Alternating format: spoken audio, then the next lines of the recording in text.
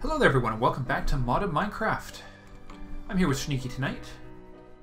Uh, Hello. Yeah, Kate sends her regrets. She's not feeling well. Um, so, we're on a new build of the server today. We've added Fastcraft back in. It seems to do the trick, doesn't it? Yeah, unfortunately, I cannot distribute Fastcraft. Um, it is not permitted. They have restricted those rights, and I respect the mod authors and their rights. And so, if you want to add Fastcraft or COFH tweaks, whichever you prefer, whatever one works better for your particular server or single player instance, you'll have to add those in manually.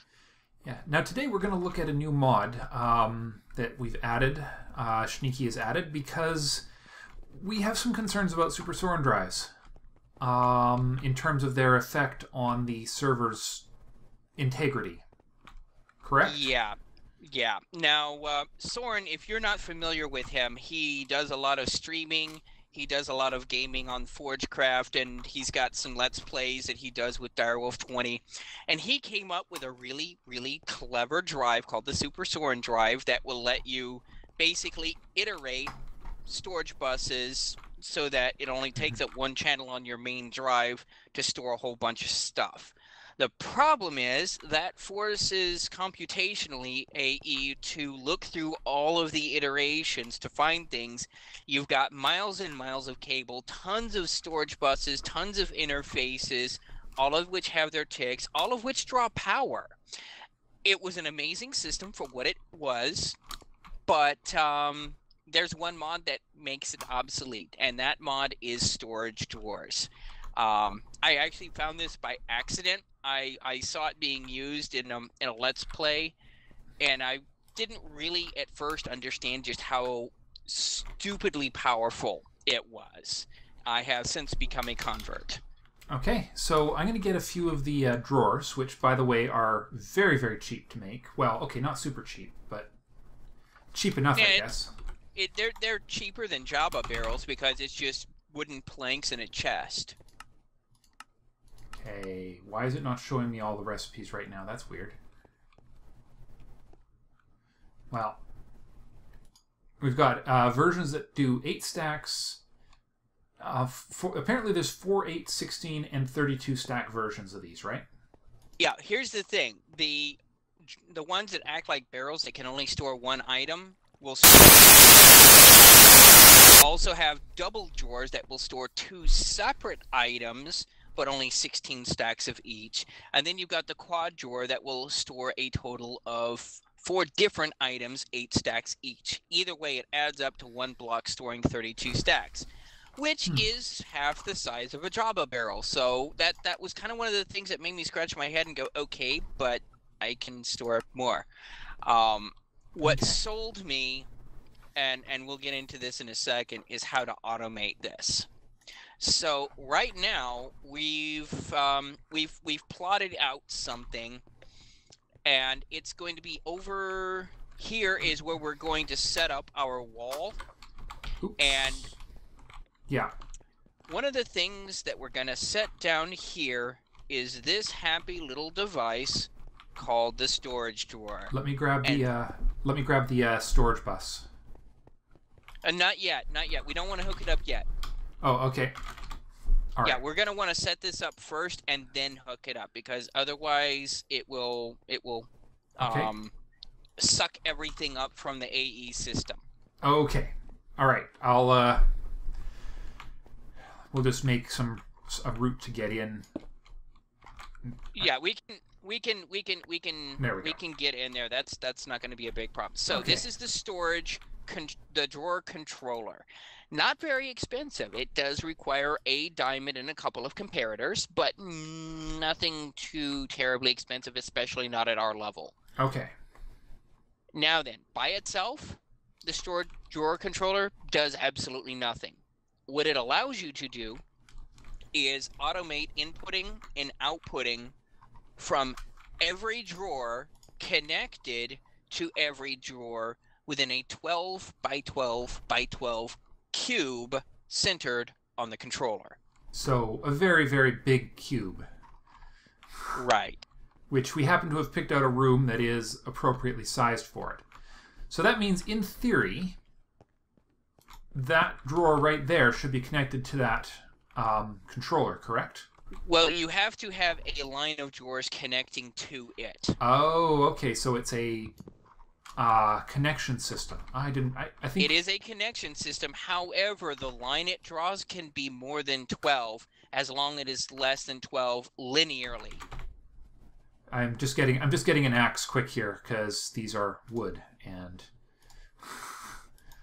wood items should be uh, are much easier to manage when you have an axe.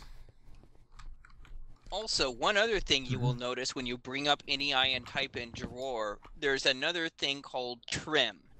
Trim doesn't store anything, but they're ridiculously cheap. You can make a lot of them, and they're used for the corner connections where you're not going to be able to access that barrel back there in the corner. Um, Okay. So you use trim instead, and it Oh, it makes the connection. Neat. Now the other thing is we can put a piece of trim, say in the middle of the wall, like say where this hole is, hmm and then you can expand out onto the back side of this wall and you, you, you can continue spreading along this wall into this other room over here where the super Soaryn drive currently resides. You can just follow this wall all the way around where these libraries are and, and yeah th- this is this is the potential for expansion is significantly more than a super Soaryn drive which requires a very heavy investment of ME drive materials per block iteration. Okay, how do these things work with uh, NBT data? Like, say, with damaged bows and axes and armor and that sort of thing? Not so friendly. We'll still want to use uh, cabinets for those. All right, or we'll want to set up a um, auto repair system for anything we want to store in that realm. Something along those lines, Okay. yeah. But that, that's that's not something that these things are designed to do. There is one other thing, however, it is designed to do, and that's called a compacting drawer. And Mhm. it only stores 16 stacks per drawer. However, it will also store one level of compression up and one level of compression down. Therefore, if you say put an iron, you, you say put iron nuggets or iron ingots into something, you can pull out iron ingots, you can pull out iron blocks, or you can pull out iron nuggets. This is really useful when you have things like, say, glowstone, where um, getting glowstone dust out of glowstone generally requires actually physically breaking it. This allows you to make that conversion without having to deal with that hassle. So, cor- correct me Um, if I'm wrong, but does that mean also that makes the uh, inter conversion recipes in the uh, ME system obsolete as well?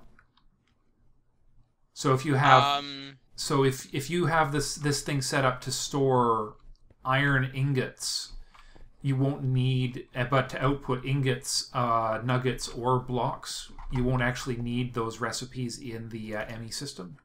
Exactly. Now, here's where one little bug does show up, and Mhm. it's not really a bug so much as the way these things work. You will see all of the ingots and all of the nuggets and all of the blocks available simultaneously. However, when you draw something out, you will see all of them debited appropriately. Nice. For example, if, say, you've got two blocks of iron in there, which is also 18 ingots and is also, what, 128 nuggets? yeah, I'd that's Yeah, yeah. If you pull a block out, it will drop everything down to one block or nine ingots or 81 uh, nuggets in the system. So it will appropriately credit and debit it. It will not duplicate, but it, all of them show simultaneously, which can be a little bit confusing at first. That's actually kind of neat. I find that uh, that's sort of actually, honestly, that's sort of similar to um, some of the stuff I've noticed with uh, Fallout 4 crafting, Yes, where it very, shows very potential. similar in concept. It shows potential capacity based on the stuff you haven't salvaged yet. Even though you've got you know a clock in there, it shows you all the different things that uh, it doesn't. It just assumes that you're going to eventually break it down for parts, and so it just assumes that it's parts rather than a clock. Exactly. Basically, it's Schrodinger's mod. Okay, let's um get a couple of let's get some some um. Well, let's get the basics going here. What should we uh? Sure. Oh, there's one other thing that I would like to introduce you to. Oh, It is called the drawer key. Ooh. And what this key does is it allows you. You remember how Jabba barrels you can shift right click with a bare hand and you can lock the barrels. So that even if they're empty, they will always accept the same thing. Yes, Cool. and not only that, but if they are empty, it will not accept anything automated. You have to manually put it in first. Cool. The key does that. The key, you just right click with it, and you notice you've got a little keyhole icon on there. Yep. That one is now locked. Right click again, and it goes away. It is unlocked. Okay. Well, let's. What- Uh, hmm? Cool. Go Oh, ahead. One other thing. Shift right click with a bare hand on a drawer. All right. Upgrades and. Yeah. This is where you add upgrades like, say, the storage increase up five times the base value. So now that's mm-hmm. 140 stacks that that particular barrel can hold. And you'll notice the obsidian little border there as you pull outside of it. Cool. You can also put in a void upgrade into these things. There's also other types of upgrades that you can put in. Nice.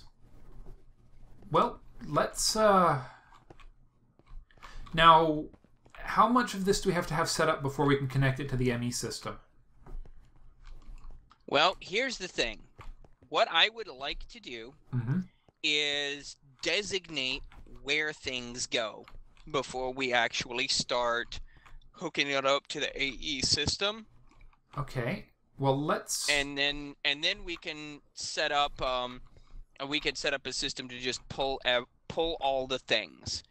Uh, we're probably going to want compacting drawers for all of the metals, so we can Mhm. count out. ho- Uh, we'll probably want compacting drawers for the glowstone, Yeah. um, and probably the Certus nether quartz yeah, we can because they actually- can. We and Yeah, if they- we store this all as blocks, like if we do if we do a block conversion as it imports, um, that'll reduce that'll uh, reduce the capa- the capa- stored need by nine ninefold. It- so Exactly. So when you're talking about storing 16 stacks in a compacting drawer, you're talking about 16 stacks of blocks. and if we throw a store an obsidian upgrade in there, there should be more than enough space for these.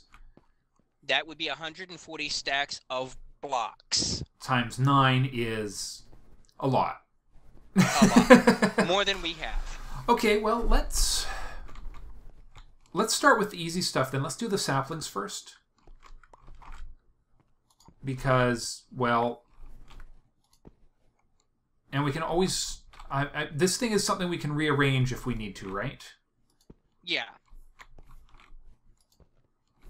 So In fact, that actually brings us to the other mod that we added onto the server. mm, Go ahead and look up the recipe for a dolly in NEI.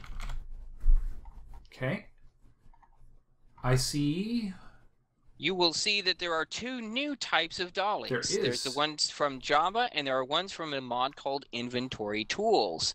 The- yeah um, it, these were explicitly designed to be able to work with the enhanced inventories chests. They sometimes didn't like Jabba barrel dollies, and so this thing will work on enhanced inventories, um, improved chests. It was actually made by the same author, Mhm. and it is also guaranteed to be compatible with storage drawers and several other mods that we're not using, as well as Jabba barrels. So we can move these around at will. Within the mod of um, the things, there's also um, packing tape that can be used. hmm Uh, however, packing tape has a durability. ah okay but that's cool that's cool all right i've made 10 more of these drawers um What the compacting drawers? Uh, no, just the regular drawers for um, saplings. You want to make a Ah. batch of compacting ones, and we'll set those up. I'm just uh, one, two, three, four, five, six, seven, eight, nine. There's nine different kinds of saplings that we had in the uh, SSD, and I think we're going to want to have uh, some different ones as well eventually if we're going to start farming other. Like the dark oak, I think we'll want a spot for. So that's ten. We can also leave space for expansion of a couple of varieties that we don't have don't have in the system yet, right? One, two, is three, very little in the way we cannot do with this. All right. Well, I'm just making a double stack of sapling drawers here, right by the controller, which we can use to basically proof of concept this thing, I think. Rubber. I'm making an encoded pattern for the compacting drawer. Oh, did I? Cool. Birch. Apparently, I've wound up with two stacks of some of these. That works. Let's see. So let's see how many how many compacting drawers are we gonna want? How many metals do we have? Let's see. One, two, three, four, five, six.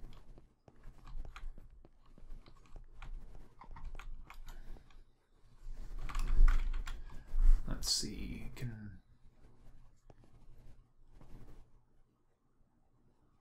uh, what else should we put in? I'm gonna start off with sixteen, just as a as a nice even number I to think start that's a off good with. that's a good number to start with. We'll get some willows. I'm wondering if we should put some of these interesting ones and eucalyptus. I, th- I think at some point we should I should switch out what's in the uh, wood farm for some new uh, wood types, just for fun. I've got to make myself a key of my own so I can lock these barrels, though. Also, once you put a thing in the barrel, you don't have to worry about random things showing up in there. Yeah, yeah, yeah, that makes sense. But But yeah, It is no, good the, the insurance. key is, and actually, how about this? Why don't you why don't you have, be the keeper of this key unless you've already oh, made I just one? made one. There's no reason not to have two of them. Okay, yeah, no no problem at Especially- all. There's I'm gonna do. And- yeah, as any engineer will tell you, there is no harm in redundancy.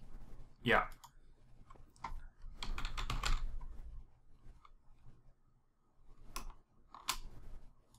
All right. What's its? Uh, what's it not? What do we not have here?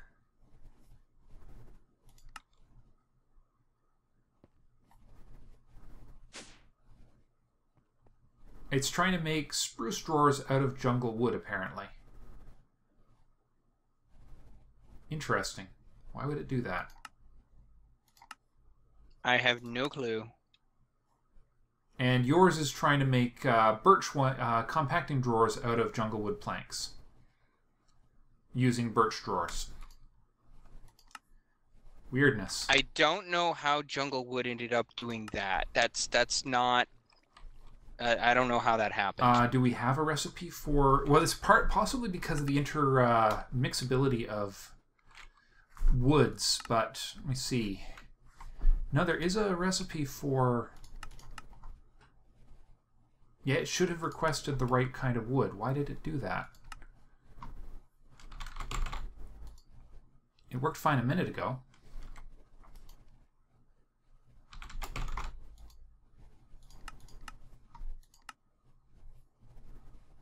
Hold on. Yeah, why would it... That was... Super weird. Super duper weird. Okay. Well, regardless... So it's just a right click to lock it? yeah. Yep, just a regular old right click. Okay. Well, once we've got these drawers in place, this this first sets of drawers in place, we should demonstrate for everyone's amusement. Are those ones in the corner going to be available there, Shneeky? Absolutely, it's exactly 12 blocks Well, long, no, I and they're meant- all connected. Well, I meant, uh, wasn't this? Is it? If we're going to put them along this back wall here, aren't, isn't these? Aren't these drawers going to be uh, inaccessible? Oh, well, technically they won't be, but you have a valid point, so I shall move them. Yeah. Just, uh, just the cor- just, just uh, the corner issue. That's all. Let's see. I'll get some logs, and then Yeah, once we've got these uh, basic things set up, we should demonstrate how the uh, we should hook it up and see, and show how it how it's all going to work. Rubber, birch, acacia.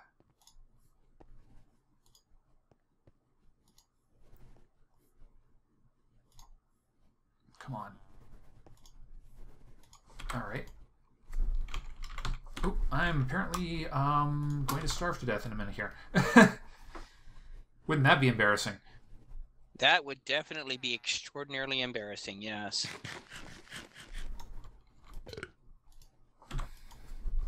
Almost as embarrassing as that burp that came out of me at the end there. Uh, what other ones did I put in there? I put uh, birch. I've got birch. I've got rubber. Acacia. Willow. Five, six, seven, eight. Didn't do pine.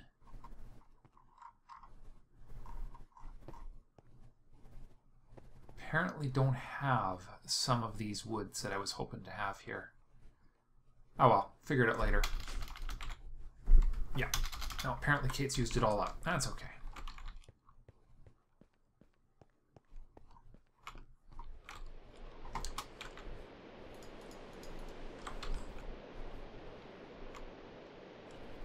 Okay. Willow.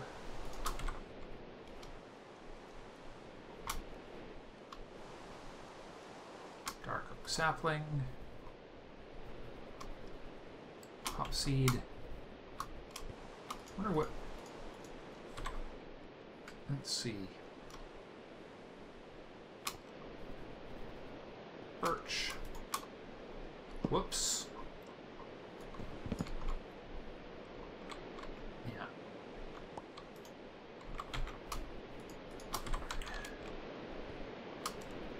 Rubber. Jungle. Sakura. Spruce. I'm pretty sure that's the hop seed wood.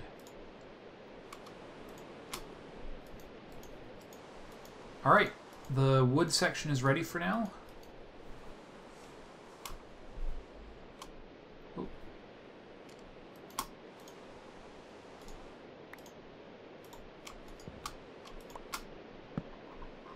Alright, interesting.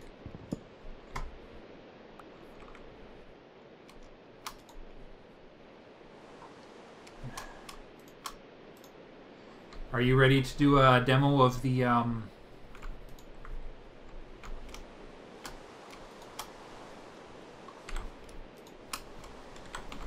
Shneeky? Yes, I am. Let me let me give you an idea of just how amazing this is. Now, is it going to try and push stuff into these uh, drawers that we don't have programmed yet? It could. That's why I'm going to do something else as a demonstration. All right, I'll just, you know what? I'll just temporarily lock all of them Okay. because we can Here's what I'm. program. he- yeah, but here's what I'm going to do really quick to show you just how amazing this is. You notice this this hopper I've set up on the actual um, the the controller, right? Yep, I'm going to go ahead and drop a barrel on top of that thing and and crash the server. whoops, that didn't do quite what you expected, did it? oh dear.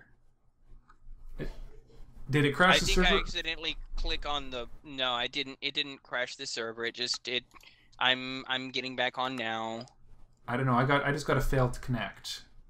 Uh, Java Connect connection refused. Well, I think we're gonna have to call it there and figure out why I can't get back on the server, and we'll pick this up in the next episode. Yeah, server's down. Yeah. Okay. See you next time.